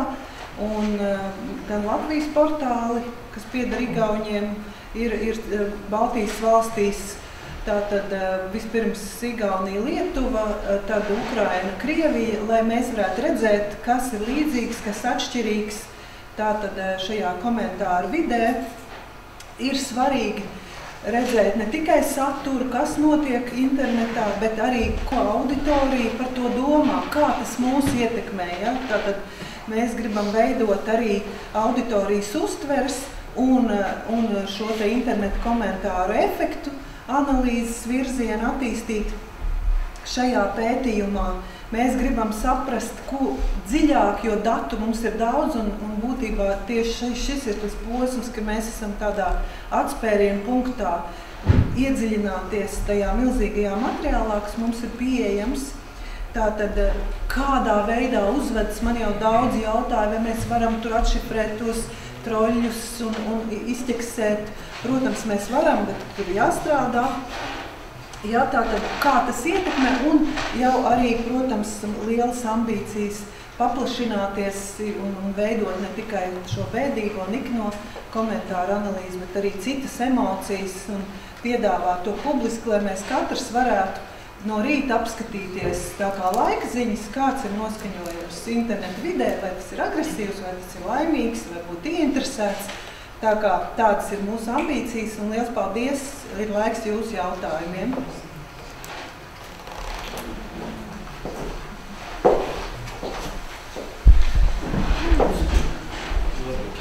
valsts ietvaros. Apsveicu kolēģis ar izcilu, izcilu darbu, izcilu rīku, un viņš sevišķi jau viņš jau izies starptautiski, visu lietot citos tirgos, tas ir fantastiski forma. Es gribēju precizēt, mazliet statistikas datus, ko profesora Roškāla minēja, ka ir vairāki kvantitatīvi dati. Tur bija slaids, kur bija minēt 4% no internetu lietotājiem, kur bija pieņemts, ka tas ir vairāk kā puse apmēram no sabiedrības, līdz ar to iznāk tas apmēram 40. No internetu lietotāju jūs teicāt, ka vairāk kā puse no Nē, puse lieto katru dienu. Internetu kā tādu. Jā. Un četri no tiem katru dienu. Nu jā, nu, šā vai tā, bet iznāk 40 tūkstoši. Jā. Iznāk 40 tūkstoši. Ideāli. Um, tālāk, ja mēs skatījāmies, tur bija Apollo, kaut kādi 3000 komentāri. Tur bija vien, viens slaids, kur bija kopuma augstākais, bija kaut kādi 10 tūkstoši. Savukārt Juris Mēndeņš kādreiz galvos teica viņam, kad 1000, 2000 apmēram žultinieki sēž. Nevajag satraukties. Vienkārši gribēju saprast, kur, kur veidojas. Jo iespējams, ka tajā rīkā ir redzams, nu, tā ir vienkārši fiksācijas statistika, kur, kur parādās šie 40 tūkstoši. Tas, nu, tas lauks, ko mēs darbojamies reāli, man, manuprāt, viņš ir mazliet, mazliet, es vienkārši neredzu tas 40 tūkstoši. Tas bija tas jautājums. Ja? Varbūt tas tur jāprecizē. Varbūt tas, ka to no tā rīka nolasīt. Ka, ka ir viņi jau daudzos citos, bet nu, lielākie, kā mēs zinām, ir Delfi vai ne, TVNets, un, un tur arī bija minēts. Ja? Tur vienkārši vajadzētu precizēt. Es nesaku, ka tūlīt tās ir jāatdod atbildi, ja? bet man liekas, ka tur neiet kopā mazliet. Okay? Jā, paldies. Mēs drusciņi, drusciņi vairāk un komentārs kā jautājums. Vispirms sirsnīgs paldies par tik vērtīgu pētījumu. Daudz, man liekas, mēs jau visādas idejas dabūjām. Paldies, ka jūs uzaicināt ar Stradiņas Universitātes psihosotikas psihoterapijas klīniku un katedru. Es gribēju pievērst kārsts vienam jautājumam uzmanību. Paņēmu vienu arī līdzi no Medscape publikāciju. Tādas ir diezgan daudzas, gan Medscape, gan šeit dažādos citos medicīnas portālos, kur ir jaunākie pētījumi. Un viens ir par to, ka agresivitāte, cinisms, ironija var būt agrīna demences pazīme. jā, es ārsts runāju. Jā. Tātad, tātad, ja jūs pieminat 4%, tātad 4%, un mēs saliekam kopā vēl dažus citus faktorus, kas attiecās varbūt vairāk šobrīd tā kā uz medicīnas lauku, bet tomēr ne, profesors Brīdis teiks, ka tā ir sabiedrības veselības lieta. Un, Un varbūt tās vēl pielikt dažus šos aspektus, klāt varētu iznākt ļoti es domāju, interesanti rezultāti. Jo, ja tas ir kaut kas arī par patoloģiju, tā izskaitā, tad mēs saprotam, ka šie komentāri nevar būt pārāk radoši, metafors nevar būt pārāk krāšņas, sulīgas un spilgtas, jo tad patiešām cilvēki nevar diskutēt, viņi var tikai izlikt savas emocijas, kas ir tā kā tāds sava veida pašārstēšanās jautājums. Un, manuprāt, šis jautājums Latvijā būtu ļoti aktuāls noskaidrot, cik lielā mērā tas tā ir vai, vai, vai varbūt nav. Un, un, un man te daudz to komentāru, bet katrā ziņā, bet katrā ziņā, es domāju, mēs visi sajūtām vienu bīstamību, diezgan ietekmējama sabiedrība, tā ir tā bilde, kas veidojās, un tas ir bīstami. Ja sabiedrība ir relatīvi viegli ietekmējama no tā, kādu, piemēram, žurnālists izvēlās valodu, noskaņu, uh, raksta to uh, krāsu, Pat es saprotu, saturs varētu nebūt galvenais, bet ar kādiem vārdiem, kā to pasniedz, tas ir diezgan bīstami. Nu, bet tas arī ir arī diezgan saprotami, jo, protams, mēs, mēs vēl esam tikai attīstības procesā, kā sabiedrība, un pat labi neejam no viena grāvja otrā. Vien kādreiz Un ne tik sen, 20 gadus atpakaļ, mums nebija diskusijas, tāpēc, ka mēs baidījāmies un bijām totalitārā sabiedrībā. Tad tagad mēs esam drusku pāršļūkuši pāri, un mēs esam tādā visatļautības tādā, tādā noskaņā atkal situācijā, kad nav diskusija. Mēs neprotam argumentēt, sarunāties, mēs, mēs tikai mācāmies, un tas demokrātijas, tas tā vērtība, ka cilvēks var izglīt. Es atgādinu, Grieķijā. Izglītoti un pārtikuši cilvēki, tie ir demokrātijas stūrakmens.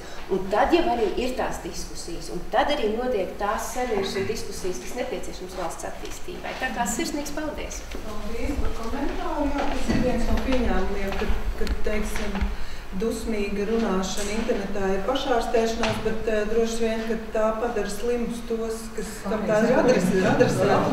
Iespējams, jūsu klīnikā vai ne jau ir, ir uh, cilvēki, kuriem nepieciešama profesionāla palīdzība, bet uzskatu. Es, es vēl gribēju piebilst par šito. Uh, tur ir ne tikai, uh, ne tikai pašārstēšanās, bet tur ir arī redzama tāda, nu, ka internets zināmā mērā kļūst par tādu uh, kaut kādu, nu, lūkšanu vieta.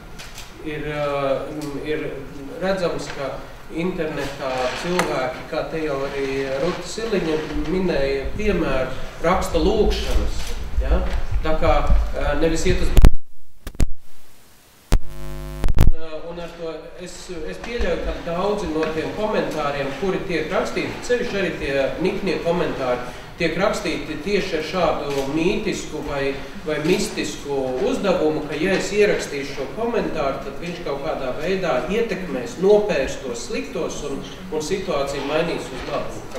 Vai tas kā Jā. Jā, paldies. Es redzu jūsu rokas, bet es sapratu, ka Oskatov mums ir priekšējā lūdzu. Divi jautājumi. Pirmais jautājums pieļauju vienkāršāks.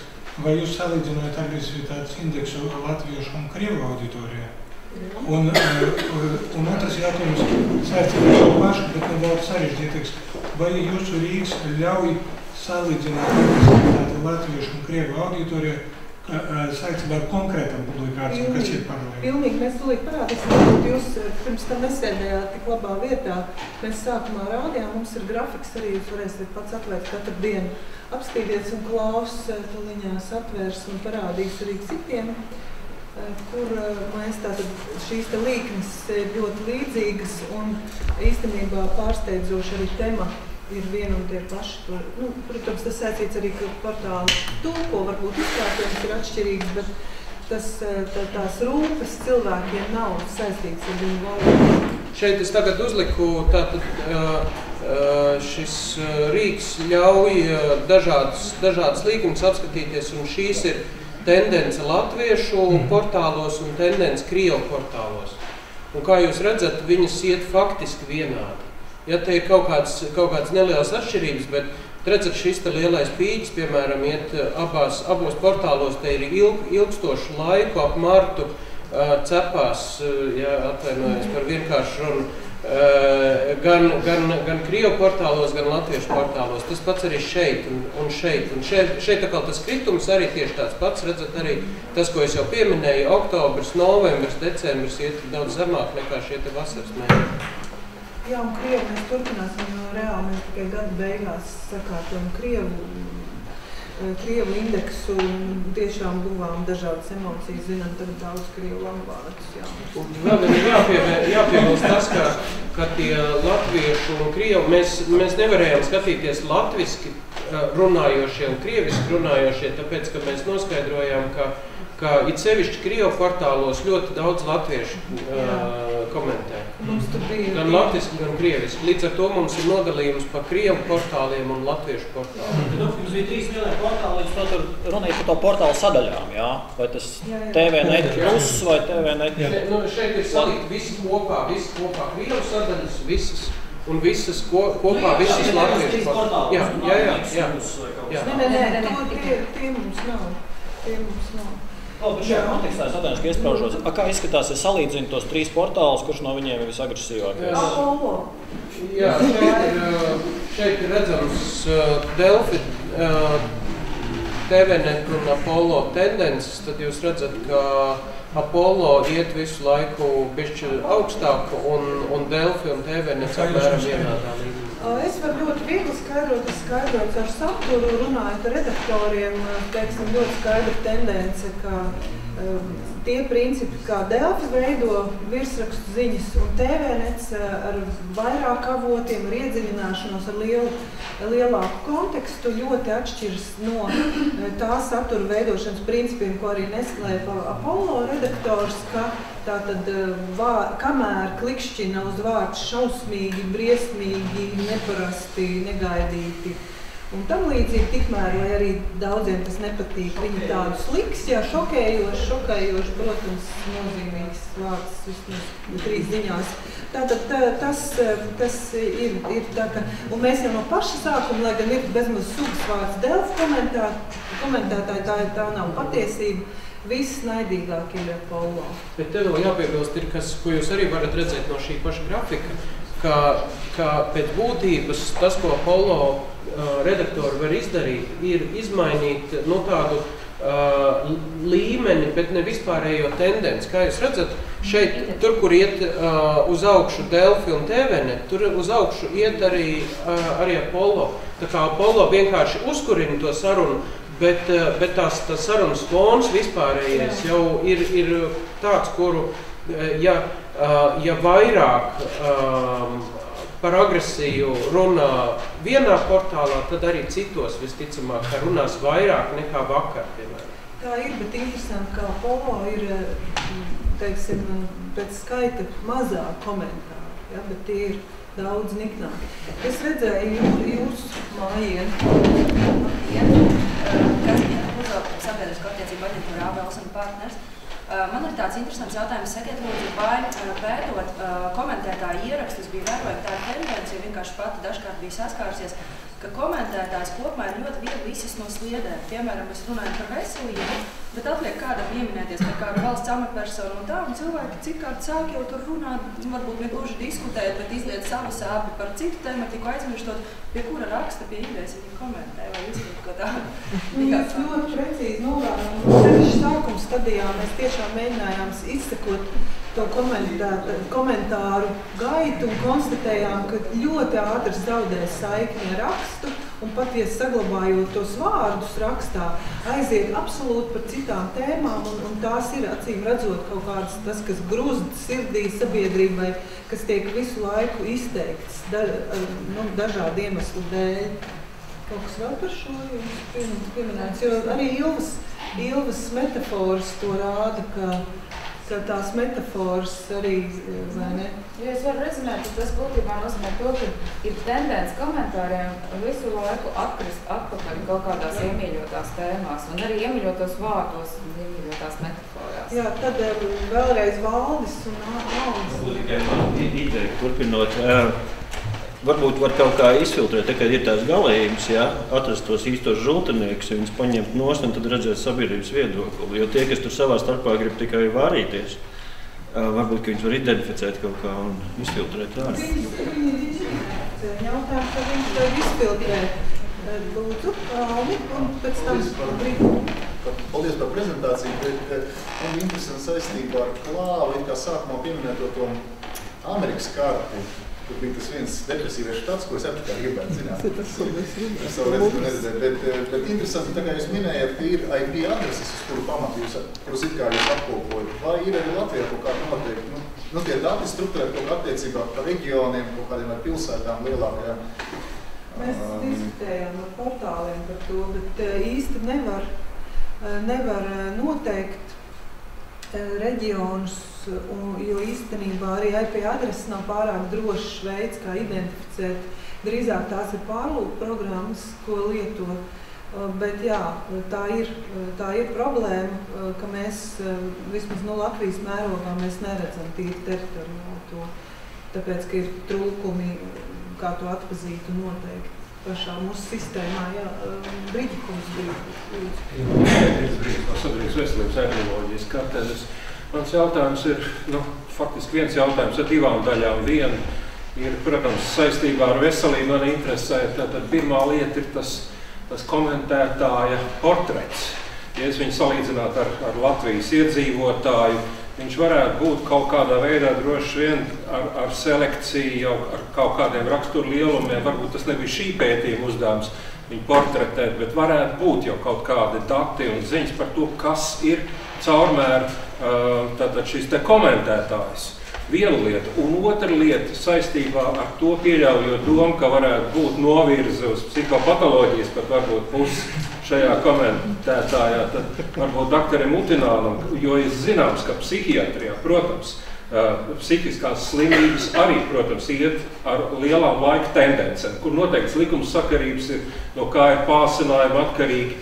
Vai te gadījumā nevarētu būt kaut kāds paralēls ar šīm līknēm, kas ir psihopatoloģijas norisēs, ar šiem komentāru uh, indeksiem, ar agresivitātes izpausmēm?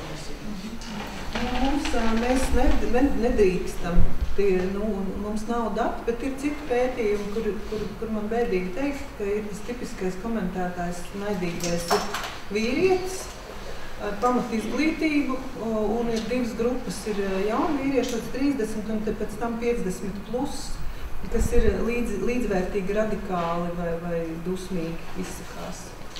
Sofija, par to, par to vidējo, um, vidējo portretu.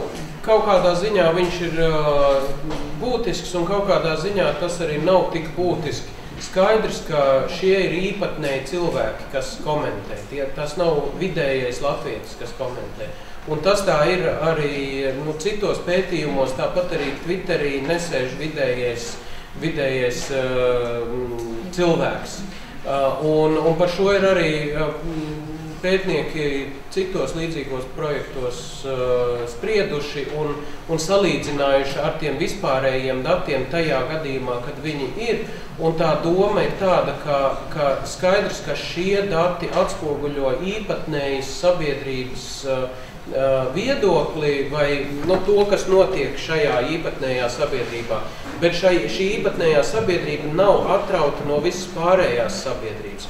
Līdz ar to tas, kas, uh, kas, kas um, tās svārstības, ko mēs šeit varam novērot, uh, um, nu, mēs varam pieņemt lielā mērā, ka viņas ir saistītas ar vispār sabiedrībā notiekošajām svārstībām. Un tas, lai gan, protams, ka mēs pastāv iespēja, ka, kā jūs teicāt, tur ir nu, kaut kādas sezonālās svārstības, kuras ir tieši specifiskas īpa, īpašām psihiskiem stāvokļiem. Ja?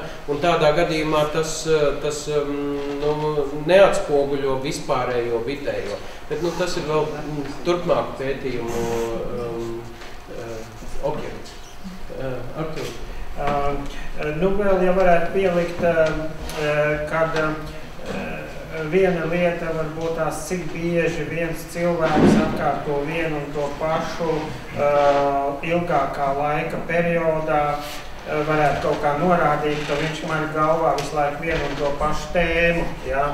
Tā būtu viena lieta, kas kā, varētu runāt par personības traucējumiem, ja? kad cilvēks kā ir pārņemts ar kaut kādu vienu emociju un, un viņš kā uz citām nepāriet. Otra lieta, kas varētu norādīt, tās ir tās sazvērstības teorijas, kas tiek propagandētas. Protams, tas runā par zināmu vērtu tādu aizdomīgumu, ja paranojalitāti. Ja? Uh, bet to tad atkal var tā kā noteikt uh, Pārsvarā tikai, protams, ja, ja cilvēks analizē tos komentārus, jo šobrīd mākslīgais intelekts eh, vēl to tā neizanalizēs. Tā šķiet. Nav tik, eh, nav tik intelektuāls vēl pagaidām mākslīgais intelekts, bet nākotnē noteikti. Tā, paldies. Vai ir vēl Vilze, lūdzu? Man interesē tie jūsu atslēgas vārdi, vai tas saraksts tiek kaut kā papildināts, un kā arī jūs paši demonstrējāt, tur visu laiku ir jauni radi un kaut kā jauni naida runas vārdi veidojas, vai, vai tas paliek konstants, vai nu tur nemainīties? Nav īpaši konstants, bet, protams, vajadzētu vairāk rūpēties. Būtībā mēs pārskatām, jo mēs redzam vārdus, kas netiek lietot, lai gan tika aplasīti no tiem 63 tūkstošiem komentāru, ko mēs sākotnēji izvēlējāmies. Bet jā, mēs arī redzam, tagad tieši aktuālāk vairāk Krievi, Krievu komentāros, ka nāk tādi tiešām ar aktualitātēm saistīti tur Amerikosi un, un, un līdzīgi vārdi, ja, kur vi, Maidans, ja, ap Maidanu dažādi veidi izmaiņas. Jā, tā kā skaidrs, ka notiek notikuma valoda attīstās un, un tas ir uzdevums arī šajā pētījumā, to papildināt un mainīt. Jā, un es gribēju mums piebildīt, kad, redaktori. kad tas, ka varbūt tāds bēdīgais varbūt tas, kad tā situācija varētu būt vēl agresīvāka nekā viņa parādās dēļ tā, ka ne jau visi komentāri nonāk līdz pētījumam. Jā, jā, bet mums, jā, jums tiek dot arī dzēstie, bet man liekas, ka tie, kurus mēs vispār neielaižam, kur, mums, kur, kur mūsu sistēma ir uzrakstījusi atslēgas vārdus, Būs vēl bloķētie lietotāji, kuriem netiek dotas iespējas vispār izteikt komentārus. Tā kā tā situācija pat ir jā, jā, jā, piebildi. Paldies par piebildi. Jā, tur jau tie netiek slēgti, jā, jā. Jā. Es domāju, ka mums ir pamazām jāpāriet uz dzērieniem un draudzīgām neformālām sarunām. Lielas paldies jums par pacietību!